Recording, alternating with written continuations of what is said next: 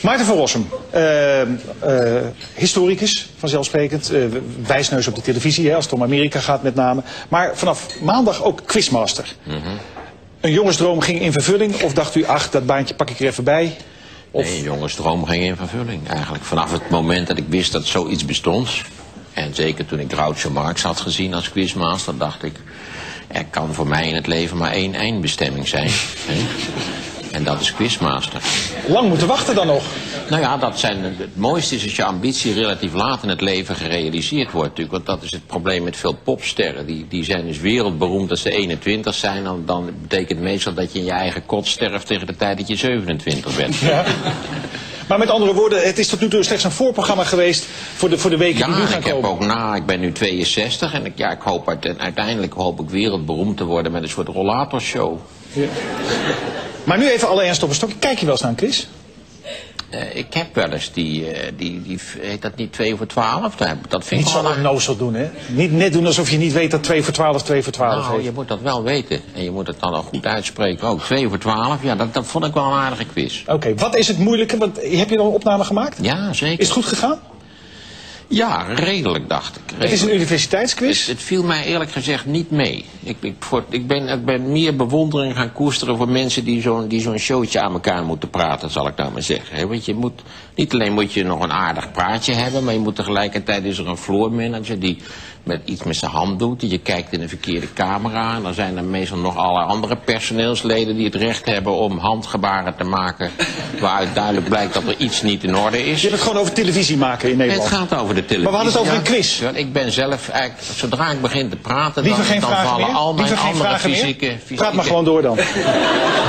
Zodra ik begin te praten, vallen al mijn andere fysieke eigenschappen die vallen weg. Dat, dat, de, de rest, dat, dat vergeet ik eigenlijk. En dat moet je hier helemaal niet vergeten. Want er blijkt bijvoorbeeld dat je, je moet oplopen naar een bepaald plaatsje... wat met een tapeje is aangegeven op de grond. En ondertussen toch een, een sympathiek en leuk verhaal houden. Terwijl je dus ondertussen... denk je, godverjuver is dat tapeje. hè? Dat soort van dingen. Of- Weer universiteitsquiz. Universiteiten, de bollebozen van de universiteit strijden tegen elkaar. Alpha, beta en gamma wetenschappen, alles door elkaar. Is, eh, eh, eh, heeft een Engels voorbeeld. Een fantastische quiz. Jeremy Paxman is daar de presentator.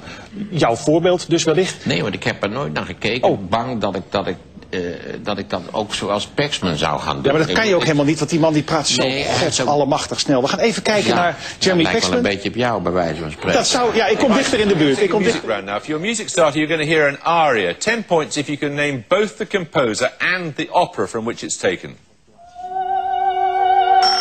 Manchester Mar. Is it Puccini Madame Butterfly? It is indeed, yes.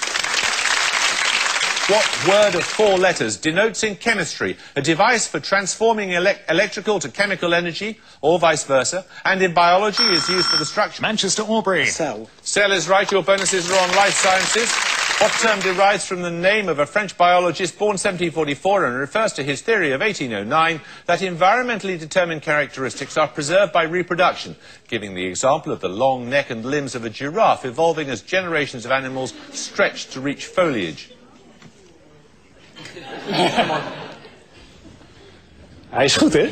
Dit is hem dus. Dit is Jeremy Paxman. Ja, het, heeft geen enkele zin dat ik dat ga bestuderen, want dat zou ik in de verste verte zou ik dat niet kunnen en ook niet willen. Ik ben wel een beetje gesteld geraakt op mijn eigen traagheid. Ja? Ja, De kijkers ook?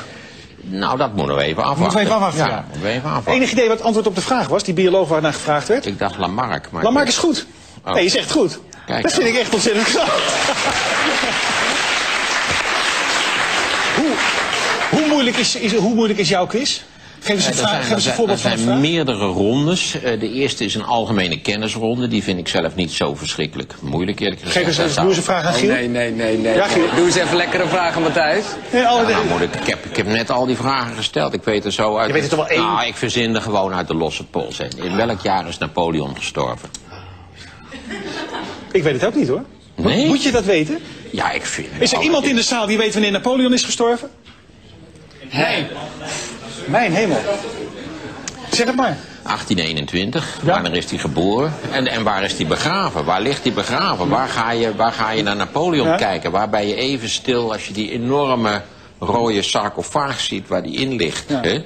Waar ga je dan heen? De kunst is, dit wist je nou toevallig zelf omdat je historicus bent, maar de kunst is bij Ik een stel quiz. natuurlijk, ik ga geen vraag stellen die ik zelf niet weet. Nee, maar dat zeg ik dus. De kunst is natuurlijk, ik presenteer een popquiz, wist je dat Ja, eigenlijk? ik Oké. heb, het- volgens mij heb ik dat wel eens keer gezien. ik weet heel veel niet. Maar de kunst is natuurlijk dat je het presenteert alsof je de almacht zelf bent. Nee, dat, dat was niet mijn ambitie. Oh. Nee.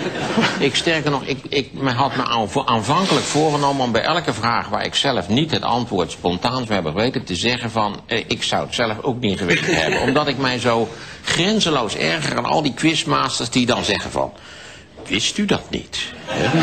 Wist u niet dat de neutralino gecompenseerd moet worden door... Enzovoort. Het is Sommige vragen zijn Ja. namelijk heel lastig. En dat vind ik zo flauw. Hè? Dat is ook zo'n gezicht trekken van... Nou, terwijl ze zelf goddomme eh, eh, een kwartier voor de uitzending op hun kaart hebben gezien... Dat, dat een kikkerert, eh, dat Cicero een kikkerert is genoemd. Ik noem maar wat op. Ja.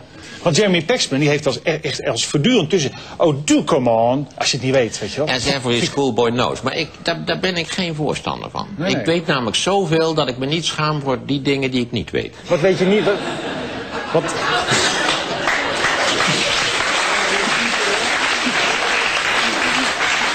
Even een klein clip. Even, oh, we, kijken, we zien nu even. Laten we even kijken. Dit zijn een paar beelden. Hebben een beetje de sfeer. Ja, ze maakt in Daar sta je. Is er geluid bij, jongens? De professor aan het woord.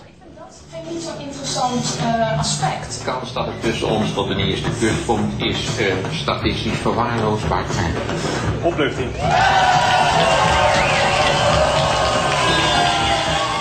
Weten ze wat eigenlijk, de studenten van tegenwoordig? Ja, zeker weten ze wel. Dat is juist het aardige van die quiz.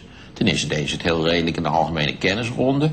Had het zelf ook heel behoorlijk gedaan in de algemene kennisronde.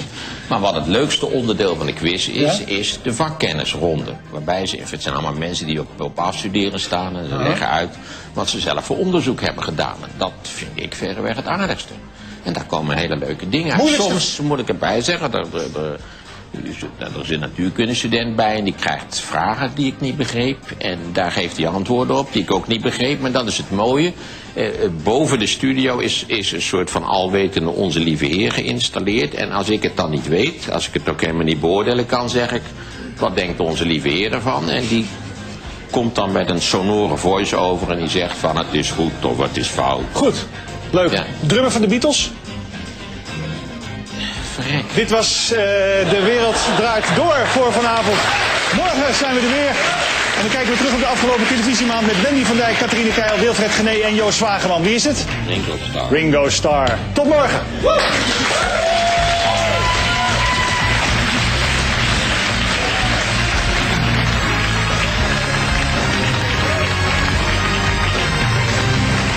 Nou, en zoals jullie wel weten, jongens, er komt dus een meldlijn voor eventuele misstanden. Dus mocht je nou onderweg een keertje verkracht worden door een collega, hè, of mocht er iets anders vervelends gebeuren waar je je rot over voelt, nou, meld dat dan eventjes daar.